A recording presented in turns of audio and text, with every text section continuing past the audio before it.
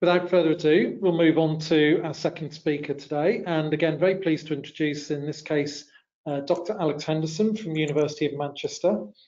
And Alex is going to give us a slightly more tutorially based presentation, I think, today uh, on getting started with chemometric characterize or chemometric classification, sorry. So if I just sort out control, I'll hand over control to you, Alex, and it should be over to you now. Okay, thank you very much. Let me just uh, grab the correct screen. Can you see the presentation now? Yep, that's come up. That's Fantastic. Good. All yours.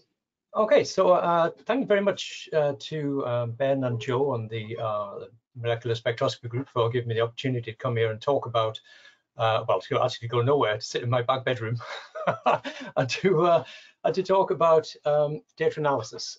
And um, when we first when we first proposed this um, this presentation, the, the idea was to talk about uh, a tutorial sort of uh, view on um, of classification, chemometrics for classification. And as I was putting the, uh, the, the slides together, I realized that actually to start from uh, from zero and get up to classification is actually quite a, a challenge in uh, 20 25 minutes. Um, it's it's whole careers work for some people. It's whole um, department work for some universities. And so uh, I'm starting with uh, a particular topic which is uh, very, very commonly encountered in data analysis, multivariate data analysis, and that's principal components analysis. And, uh, and hopefully that um, the idea here would be to take it through in, in, in uh, baby steps, as it were, covering some pre-processing steps, and then what uh, principal components analysis is, and how you interpret it, and then some of the, the things that you should take into account as your um, uh, as you're doing an analysis. So, uh, so I'm Alex. I'm in Manchester. Uh, I'm also involved with the uh, International Society of Clinical Spectroscopy, um, director of that, and the director of Surface Spectra. Uh, surface spectra are um, in uh, secondary and mass spectrometry rather than spectroscopy. Um, we've got a website which uh, on which I will put these slides. These slides are, are um, putting under uh, Creative Commons um, use, so it means you can download, you can reuse these uh, slides as you wish, and um, and I'll put them up there probably later on today. So first of all, I'd like to, to give you some resources and, and, background because I think that's a good place to start. Um, so the, the, data I'm showing here is from Roy Goodacre. This is um, uh, some data that's downloadable from his website. And um, and this, uh, I guess, is an example of data reuse and data sharing. And uh, there's, a, there's a big push towards doing that at the moment. And this is this is an example of that. It's often difficult to identify examples. Uh, for discussion purposes, uh, we, uh, as, as, part of CLIRSPEC, the International Society for Clinical Spectroscopy, we have a, a, a data space um, for a discussion of any type of data analysis, it, it has a slant towards clinical work and certainly um, infrared and Raman spectroscopy, but um, non-clinical uh, work would also be interesting for discussion there. Um, and uh, for data sharing, uh, we have um, a, space on the Zenodo data repository, which will hold data sets up to 50 gigabytes or more. Uh, it's free, and, and that's a good place to look for uh, data if you need something for um, put together a presentation, for example. Uh, this is just a list, it's, it's, certainly not a complete list of data analysis software. Most of that is free and open source, uh, covering lots of different platforms, MATLAB and um, R, Python, for example, some Java. So there's probably something there that you can you can begin to get your teeth into. Uh, I'm uh, putting a, a, shameless plug here for my toolbox, which is in MATLAB um, and uh, that's downloadable from this site. Um, as I said, uh, I'm sharing these slides later, but I believe that you have the option to just click on a, um, a, a screen capture. So if you wanted to do that, then you can you get all those links now to, uh, to go away and, and search. So data analysis, where, where do we sit in data analysis? So chemometrics is kind of the measurement of chemistry, and that falls into two broad categories of uh, univariate uh, statistics uh, and multivariate statistics. So univariate um, is where we measure a single parameter of something. So we might measure, for example, uh, viscosity. And that would be, we, we take a single measurement, we might have many samples, but there's only one thing we're measuring. Those give us distributions, and then there's a long history of statistics with distributions, um, some of which are examples there of, uh, for example, the student's t-test, ANOVA, uh, many others there. Multivariate analysis is, is the area that we're in really, because we're in spectroscopy, and, and that means that we're measuring many things, many parameters of a sample at the same time.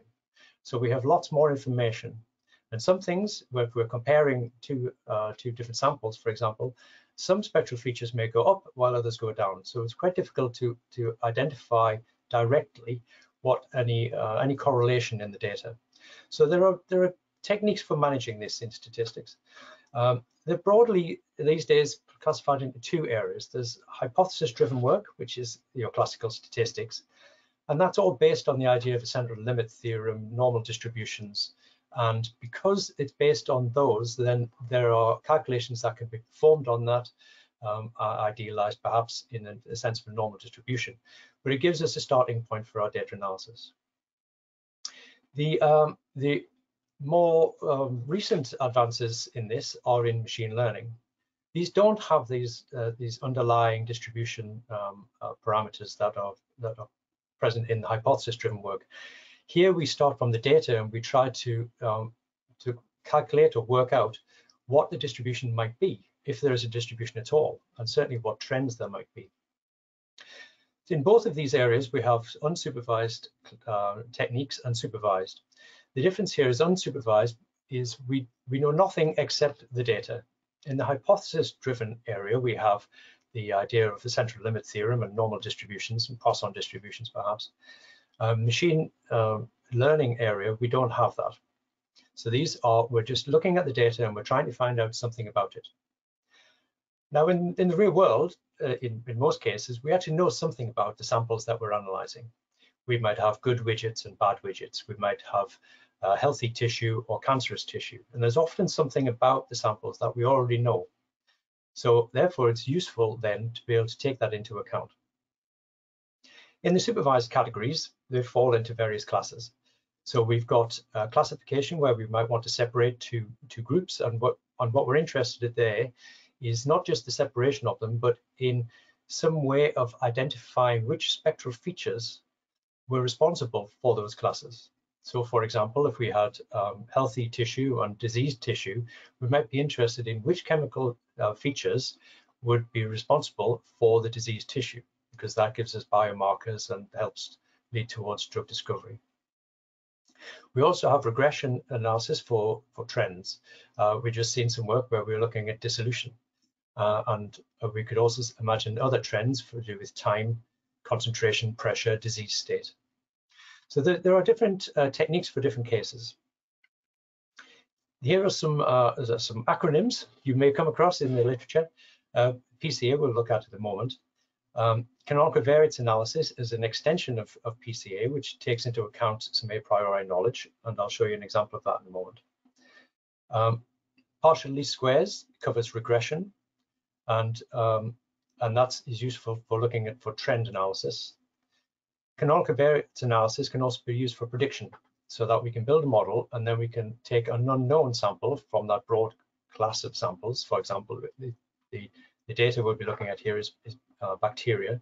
So we could take one, a bacterium and see whether it most likely lies with some other bacteria or not. And that helps us identify uh, um, a, a species that we may find.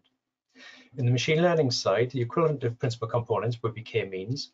And there is actually a, middle ground where with certain parameterization, they both actually develop into the same technique. We have for classification, we might have support vector machines. That's useful for classifying things, but doesn't explain why things were classified into two groups. Random forests, I put the trademark there because random forest name is actually, and the algorithm is actually trademarked, but it's open. Uh, and that is a, a, method that we're using very much more in Manchester these days for analyzing trends and predictive models in, uh, in uh, our cancer research. So in this, uh, this, the rest of this talk, we'll be talking about PCA, and then I'll have an ex one example of the canonical covariance just so you can see the difference. So let's start with some terminology. Something I realized when I first started this is very difficult to work out what people mean in the literature and certainly in the um, uh, in books and, and software about this sort of area because they're often coming from different backgrounds. The whole of uh, this area was developed through econometrics uh, and, and really science came into it relatively late. So an observation is anything that you could, that you take measurements of. It's an entity, it's a thing, and you can have multiple parameters that you might want to measure. So we, um, if we were analyzing cars, we might count how many wheels it has, what color it has, um, how many windscreen wipers it has. Um, a variable are those parameters and the, the values attached to those parameters. So if we're counting wheels, we might say a car has four wheels and some cars have three wheels, uh, and vehicles might have two wheels if it's a bicycle. Um, and in chemometrics, we must measure, must remember to measure the same things. For example, it wouldn't make any sense if we're comparing a collection of cars if we've measured the, how many wheels some of them had and how many doors other cars had and come to some conclusion about how fast the car could go. Really makes no sense. You have to measure the same things.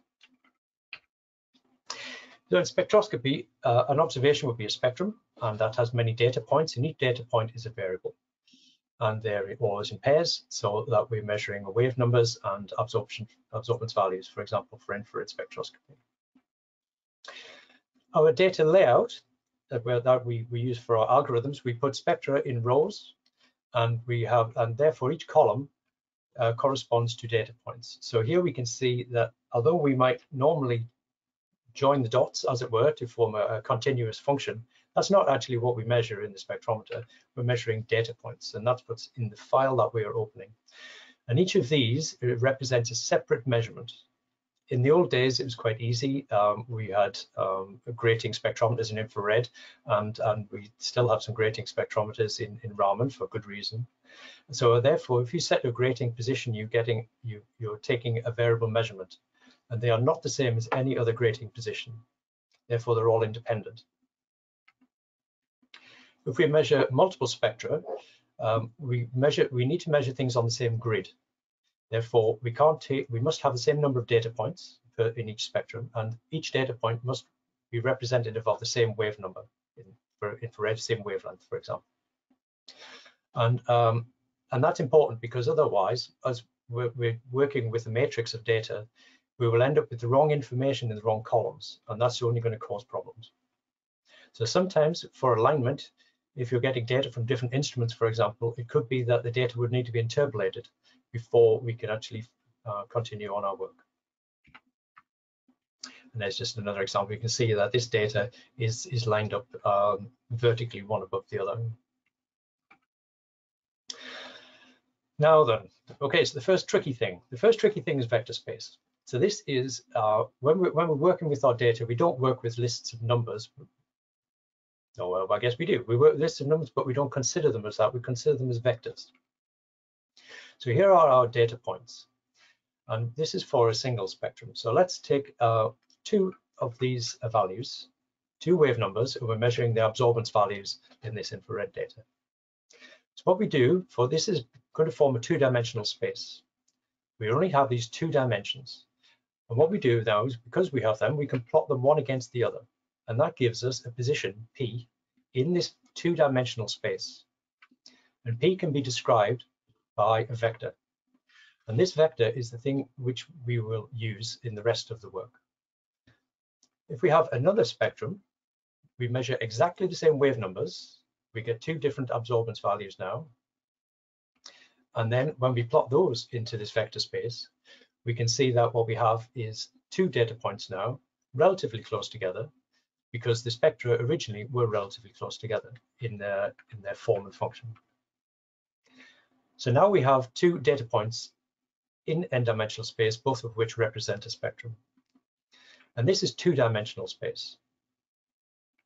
Uh, the, the directions here, these vectors, lines that we have, the blue one and the orange one, we can see that the angle between them is quite small. And that is indicative of two spectra that are relatively similar. Likewise, these points at the end are relatively close together. And in Euclidean space, if that's another metric we can use for similarity, they're also close together, which gives us an idea that the data will be um, similar underlying. Now then, we, we, two, two data points per spectrum is not very many when we are clear, clearly collecting hundreds or thousands of data points per spectrum. And each of those is corresponding to different chemistry. So therefore, we need more than one, more than uh, two-dimensional space. So if we have two wave numbers, we have two-dimensional space. Three wave numbers, we would go to three-dimensional space, and each of these is orthogonal. So we get the the uh, an orthogonal direction um, space. If we go to four dimensions, uh, we have four-dimensional space, and the problem now is it's difficult to actually visualize. But the important thing to remember is that they're all orthogonal to one another. There is no component of momentum in a sense in, that is crossed over between these because they're all independent. In a spectrum, it's kind of difficult to picture that, but if you go back to a car analogy, counting the number of wheels is completely different to counting how many cylinders the engine has or how many, um, what its top speed is. So these are all independent values. Okay, so now that you've got that under your, your belt, let's look at pre-processing because it's very important that we do some pre-processing in our data analysis. So this is pre-processing that you might normally do in all of your rest of your work. If you're in Raman, you would probably consider removing cosmic rays. You would probably also consider doing baseline removal. Any other instrumental features which are not pertinent to the to the um, the types of sample need to be corrected for uh, scattering phenomena, for example. And I believe that uh, Peter Gardner gave a presentation on scattering, Mie scattering uh, earlier in this series. Other things that you may wish to do are um, first or second derivative work. Um, and, and, this is used, can be useful if we have um, overlapping peaks, which are giving rise to shoulders. And then some in some other techniques, we may want to uh, do something to accommodate the dynamic range of the data, uh, and therefore square roots or log transforms or such that might come in useful.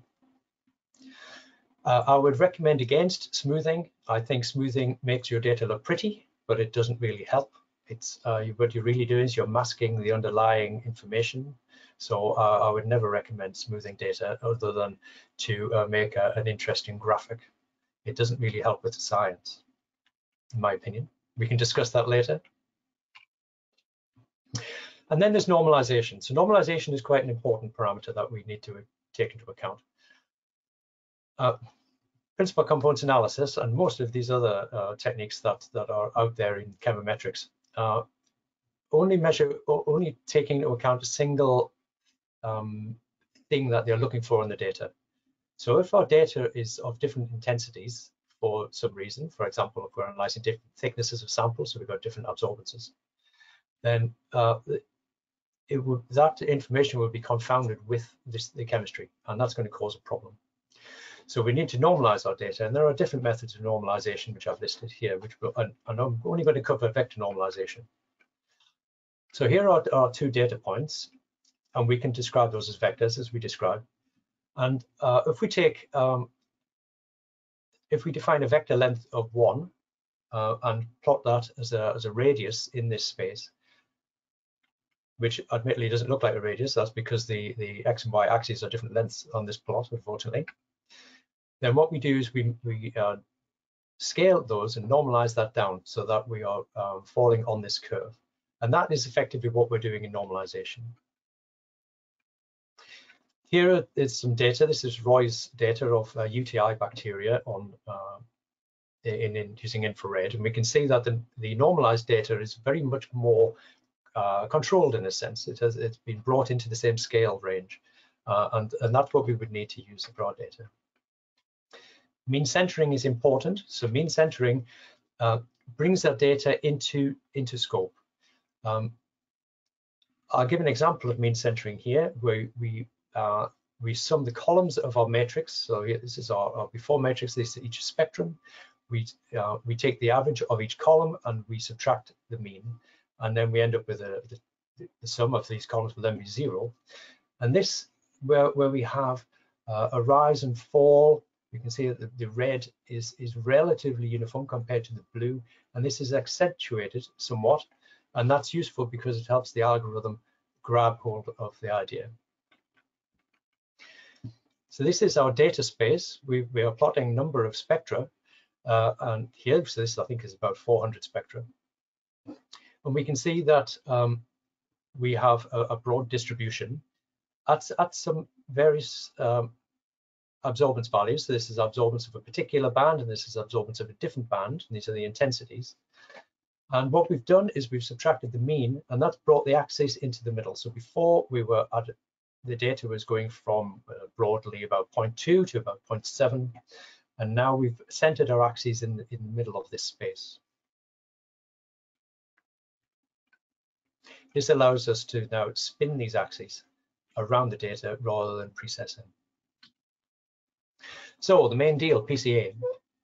This was uh, invented quite some time ago now. Um, it was the, the underlying th uh, theory was um, done by Karl Pearson, and then it was formalized better by Harold Hotelling in the 30s. So our underlying concepts here, what we're saying is our, our data has something in it that we are not able to measure, but that we are interested in. For example, we might be interested in uh, uh, how fast a car might go, and we might be measuring that by how expensive it is and how big the engine is. But that doesn't tell us, we're not actually measuring its speed, we're inferring that from some other separate measurement. And then we also have to take into account that what we have is something that is useful to measure and then other spurious factors, which are partly noise and partly unwanted data that is also present in there. And as alluded to earlier, we also have a, a PCA can only manage a single source of variance, which means that if we are asking it to do too much at the same time, it will give you a, a, combined answer, which would be difficult to interpret. So there are two common algorithms. The most common one that we come across these days is a single value, uh, singular value decomposition. It's a factorization, it's a matrix rotation. Uh, I'll discuss those in a moment. And it calculates all the principal components at the same time. The original um, approach back in the 1960s was uh, a partial least squares approach where we fit a line through the data, we do a line of best fit, and then we subtract that, and they do another line of best fit. And each of these lines of best fit forms principal components. So factorization is something we need to take into account. So here's the, the number 12 as an example. We can factorize that in a number of different ways. So we can factorize by uh, 12 times 1, 2 sixes, 3 fours, and the inverse of those. But those are not the only factors of 12. There are some other factors which are not integers. So there's one here. Then we've got some others, and we have a whole pile of these. And the problem is that there's an infinite number of these possible factors, which means there's an infinite number of rotations. And this is what um, Chris was alluding to when he was discussing MCR, and that there's a rotational ambiguity, that they call it. So question is, if you can spin these around forever, how do you know where to stop? In principal components analysis, what we do is we stop when uh, we have, so we are factorizing into three parts. We, we lock it on the components that are describing the most variance in the data in decreasing order. For MCR, the, the common, common approaches are to say that you can have no non-negative components and you can have no um, non-negative spectra. Those are two common uh, common approaches for locking in this position. So what do we get out of PCA? PCA is just an algorithm. You type it in the computer, you say, please do it. Computer does it for you. You don't have to do it by hand.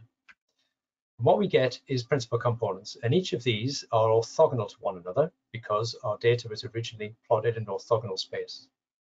And we get pairs of information, generally speaking, and it's the pairs of information that we could keep together in, and assess in unison. It's quite important that we do that. The number of principal components we get is the minimum of the number of spectra and the number of variables.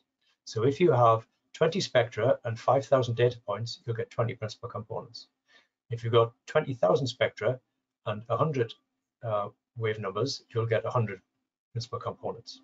And that's because it's a covariance matrix that's underlying it.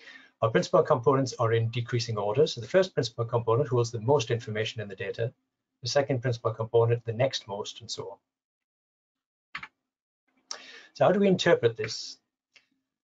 So our loadings, uh, something that is highly loaded is where the principal component is close to one of the original axes of measurement. So in this case, the x-axis here, which, which I've, I've, labeled here as the as wave number two, whatever that might be, the angle here is relatively small, which means that wave number two is important in describing that principal component. This wave number has a larger angle here, and that means that it's less important. Both of those wave numbers are present in the data, but one is more important in describing each this particular principal component. Other principal components would have different lines and therefore produce different angles. So here's an example from uh, from uh, Roy's data. Uh, this is uh, a loading on, on principal component one, and we draw it as a line, but don't forget that actually it's just a load of different variables that are plotted next to each other. I'll describe how to interpret this later. This principal component is describing 65% of the variance in the data set. So that's reasonably high. Some other data sets, you can find that in the 80s and 90s straight away because there's something that's very strong characteristic inside the data that is uh, locking the algorithm onto it. Second principal component looks different. The first principal component on the left, second principal component on the right. And we can see that there are the, some bands are present in both positively and some both negatively. And then others are flipping between. So this is in the positive here, but it's in the negative in PC one. And that's important because that's saying that the weighting of those is different across the data. Uh, kind of running out of time. Uh, our scores, uh, projections onto the this is how we measure the scores. The score is how far along the axis, uh, how far along our principal component, our data lay. And this is what our principal component scores would look like, and they're all the same color. And that's because principal component analysis has no knowledge of our underlying um, information that we have about these bacteria. Roy, of course, had all this information, which, which means that we can use them to color uh, our data sets. And this is this would be useful for our interpretation. This is what happens if you don't vector normalize. That's with vector normalization, you can see that the green ones have come out isolated very nice, whereas without the vector normalization, it's much more of a mishmash. And that's because it's trying to hit the normalization and the chemical differences both at the same time. So normalization is important.